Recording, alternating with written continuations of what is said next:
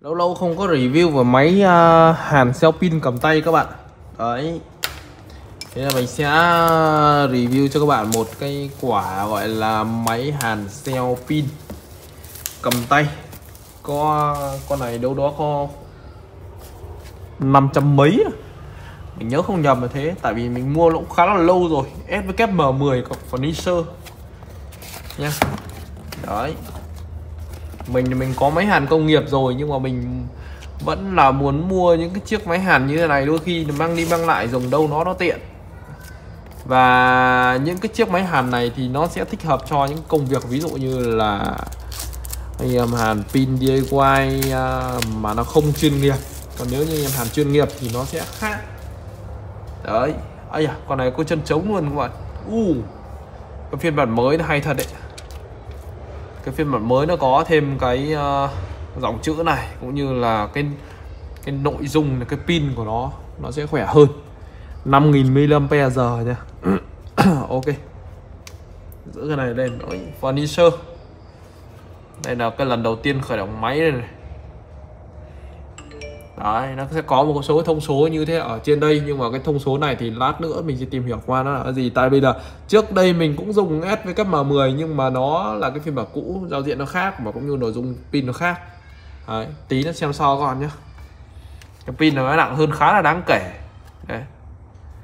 ok cái chân này tháo được này. Và cái chân đằng sau cũng ờ, tháo ra được để cho nó chống này. À, maximum current của nó là 1200 ampere nhá. Đấy. Rồi. Ở đây người ta sẽ cho mình một cái uh, dây hàn để mình sẽ hàn thử coi. Đó mở máy lên coi nhé đây và người ta sẽ cho mình một cái kẽm để test luôn các bạn. Mình sẽ thử xem đây. Cái pan me của mình để lâu quá nó hết pin. Từ ngày mà mình review xong mình cất tủ luôn không dùng tự nó hết pin luôn các bạn. Đấy. Thì uh, thay pin cái là lại ngon ngay. À, mình sẽ đo thử xem cái này nó là dày bao nhiêu đo cái này phải đo bằng ban me các bạn nhá nó mới chuẩn được. Đấy cái này là kẽm 0.2 nha. 0.2 mm đấy xịn thò chưa? 0.2 ok thì uh, mình sẽ chấm thử mối coi nhé xem nó ra làm sao cơ ở chỗ này người ta lại Ủa, mình kiếm cái gì? Kê lên không ta? Đấy. Đấy ô nó bọc luôn cái đầu này, này. thì uh, con này thì mình mua có 500 mấy rồi, thì mình liên kết mua mình sẽ để dưới phần mô tả nhé à cái này như bấm đang nhẹ sao? Uh, bấm nhẹ tí mà nó vẫn dính vào này. Đấy rất nhẹ luôn. Gần như là không cảm giác bấm như nó không phải một mm mình sẽ tăng lên này. Tăng 0,5 mini này tăng cái sung lên.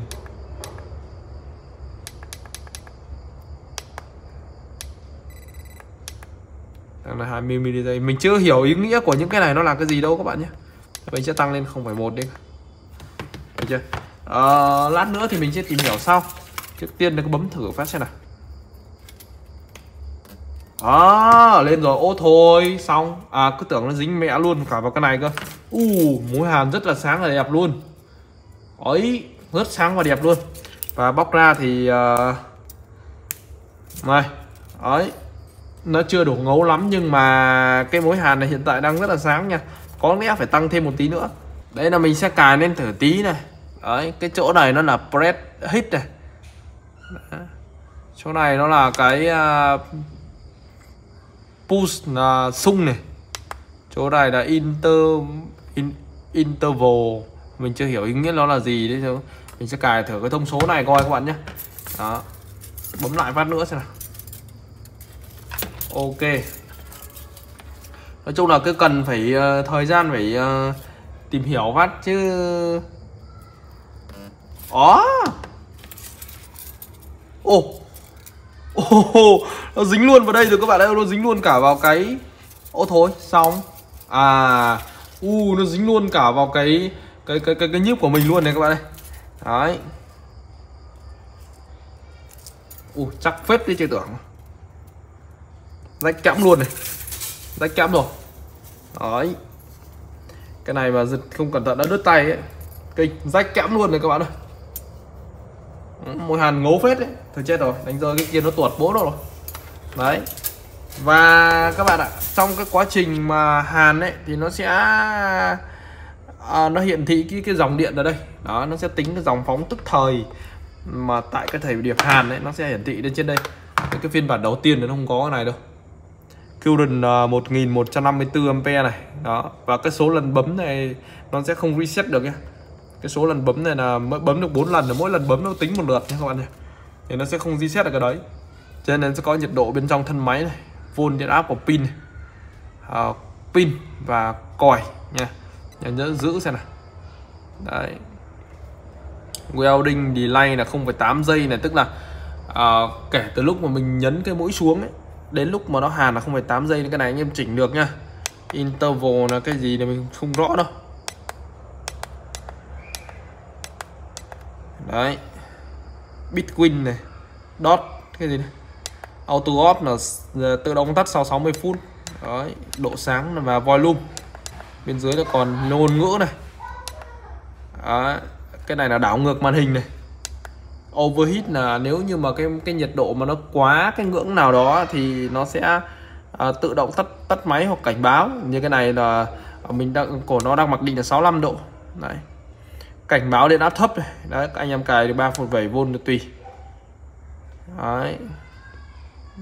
Cái gì? À bảo vệ ngắn mạch. Có hay không? Thì cái này đang bật kệ nó thôi. Factory reset. Đấy bây giờ mình sẽ tiến hành là thử bung cái này ra để cho các bạn xem. Đó. Thì à, mình sẽ nhìn cái chỗ tháo nó ở đây rồi. Đang nói thì tự nhiên cái con à, con gì nó bay mũi các bạn. Bực cả mình. Đấy. Đây là cái cạnh tháo của nó sẽ ở đây các bạn nhé. Nó sẽ có một cái à, như cái này như cái tai tai đỡ của nó lên đây này. Đấy. Cậy này ra. Lâu lắm thì không review những cái máy uh, những cái máy mà hàn gel pin như này. Ấy cái tai này của nó khá là cứng nha các bạn nhé đấy. Cái này nó thiết kế giống như là cái bơm hơi uh, của Baysert ngày xưa mình review cái bơm hơi của Baysert cũng như thế này. Đấy. ok. Rồi. Giờ này là bên uh, bọn trẻ con là nó nó đang uh, vui chơi bên ngoài. Khả năng nếu mà nó ôn chút anh em thông cảm nhá. Đấy cái này, cái tai này nếu như em tháo ra thì nó cũng cũng cần phải hết sức cẩn thận, bởi vì cái tai nó rất là cứng nha mình tháo ra nó gãy mất một cái rồi này gãy mất một tai này. Đấy. ok, nó có ký hiệu rồi chữ r r ở bên phải nhá. rồi, hình như cái này chỉ tháo bằng tay sao tháo nốt bên này nó sẽ không có vít đỡ ok Ờ, đây là cái phiên bản ờ, uh, FVKM10 phiên bản đời thứ hai. Thì đời thứ hai nó sẽ khắc phục được nhiều lỗi của đời thứ nhất. Đấy cái bao giờ cũng thế nhá đời sản phẩm đời sau nó sẽ cải tiến để khắc phục lỗi của đời uh, đầu tiên. Thì là anh em có thể là là, là, là bây giờ tại cái thời điểm này anh em mua được. Và đời thứ hai nó cũng rẻ hơn nhiều nữa nó không giống như là đời một. Đời một mình mua cái con này cũng gần 900 nghìn. Nhưng đời, đời này thì mua thì rẻ hơn rồi. Đấy, sau khi cạ được hai cái tai này này. Cái tai này nó in cái chữ L nhà bên ờ, bên bên trái nhá. Đấy thì anh em sẽ cậy mấy cái ngàm đỡ này ra. Đấy. Đây. Cái này nó tháo hoàn toàn bằng ngàm đỡ. Đáng nghĩa là mình lên cái clip này lâu rồi đấy nhưng mà mà mà cái ờ, à, mình uh, làm video xong là có một số trục trục trục gọi là trục chặt thế cho nên là không không có lên được. Bây giờ mới lên được các bạn nhé. Anh em xem đỡ chơi. Đấy. ok.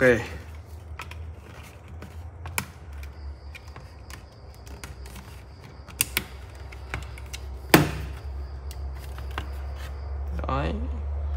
Cái chỗ, chỗ này là có vít không ta? À chỗ này nó có hai con vít nha. Anh em chú ý nhá. Đấy. Đây là nếu như mà anh em chưa biết đấy thì anh em có thể xem những video của mình tham khảo.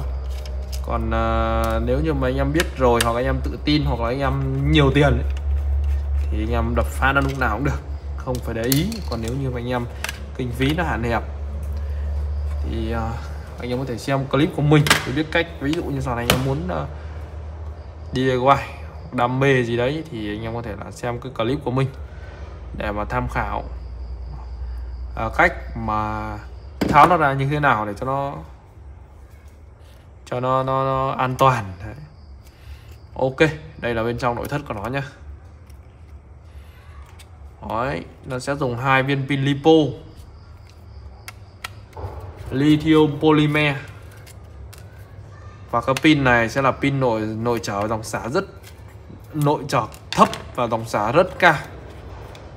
Và thông thường những cái cell pin mà dùng để làm máy hàn cell pin ấy, thì nó sẽ là như thế. Các bạn nhé. Đấy. Nó có kết nối cái gì phải không? Mình thấy nó hơi chặt chặt lên ta. À nó có một một cái mặt à, dưỡng ở đằng trước này. Đây thì toàn bộ nội thất của nó ở đây các bạn nhá mình sẽ cố gắng là tháo hết tất cả. Đấy. Và anh em chú ý là nhớ cái chiều kết nối của nó nhá battery cộng ở à đây nó còn đánh số này cộng này trừ đây nó ghi battery cộng và battery trừ. Thì bởi vì cái cái loại này khi mà đấu ngược hoặc là anh em để chập ấy, thì nó sẽ cực kỳ nguy hiểm nhé nó không giống như cái pin khác. Thì em nhìn đây Đấy, tất cả những cái đường công suất là nó dùng cái thanh đồng đặc luôn các bạn này và nguyên cái men nó rất là nặng nha các bạn nhé. Thanh đồng đặc. Để nó dẫn uh, nguồn tốt hơn. Tại vì khi dòng xả các dòng xả tức thời nó lên đến hơn 1000 ampe thì nó hơn 1000 ampe đấy nhưng mà nó nó tức thời nên là uh, nó cũng không không không nguy hiểm lắm đâu các bạn nhé. Mình sẽ đo cho các bạn xem uh, cái nội trở của cái uh, thằng này coi các bạn nhé. Đấy. Để xem hai quả pin này có nội trở bao nhiêu hai quả pin lipo này thì chủ yếu cái lớp điện cực của nó là polymer này nó rất là nhẹ nhá, cả hai quả này rất là nhẹ các bạn nhé. Điện áp 4,09 và nội trở là tại vì là hai cái cực này á, nó là hai cực của hai quả khác nhau. Vậy cho nên là cần kẹp và giữ chắc các bạn nhé. Giữ chắc như thế này. Đây ép chắc ép chặt vào như này. Đó anh em nhìn thấy chưa? Nội trở nó có 0,6 0,5 tiếp xúc chưa tốt nữa các bạn phải giữ thật chắc tại vì nó là của hai quả. Đấy. Mình sẽ đo lấy một cái kết quả ổn định nhất nó sẽ rơi vào tầm khoảng 0,8 đến 1 ôm tại vì nó cái kết quả đo này thì nó hơi xê dịch một chút tại vì là nó do tiếp xúc các bạn. Thì mình sẽ đo nội trở của một quả. Nội trở một quả xem nó như nào nhé các bạn nhé nội trở của một quả nó sẽ rơi vào tầm khoảng 2,8 miliohm như vậy thì nội trở chính xác của hai quả này nó sẽ rơi vào tầm khoảng 1,4 miliohm 1,4 milliohm cho cái dung lượng pin là 5000 mAh thì phải nói là nó rất là cao các bạn nhé. Đây là nội trợ à không phải nội trợ cực thấp luôn các bạn nhé. Đấy tức là cái dòng sản của nó sẽ cho ra rất là cao. Mà hơn nữa là cái cái mạch này nó hoạt động bằng cơ chế ngắn mạch. Cái cơ chế ngắn mạch thì nó sẽ dòng dòng phóng của nó sẽ cao hơn nhiều so với lại cái cơ chế bình thường các bạn nhé. Ví dụ như các bạn dùng cái này để xả liên tục cho một cái sạc dự phòng hay một cái gì đó thì cái cục pin này á, nó sẽ xả tối đa uh, liên tục khoảng uh, 100 ampe chẳng hạn. Nhưng mà khi mà xả tức thời dòng phóng tối đa tức thời ấy, thì cái cục này nó sẽ ờ, dòng phóng của nó sẽ lên rất là cao các bạn nhé. Đấy. Còn à, về cái mạch điều khiển thì à, các bạn có thể nhìn thấy ở đây nó sẽ có điều khiển bởi à, con à, ai con ghi hi. Con à, CPU ghi hi nha. MCU nha có thạch anh 8000 mega à, 8 MHz đấy chưa? À, và bên dưới nó sẽ có một cái con cảm biến nhiệt này. Để bảo vệ cell pin. Trong quá trình là nhiệt độ nó lên quá cao thì nó sẽ ờ, tự động ngắt. Đấy, làm khá là chu đáo các bạn nhé. Thì ờ, bên dưới và bên trên nó sẽ được liên kết với nhau bằng một con cáp. Đấy, cáp. Ok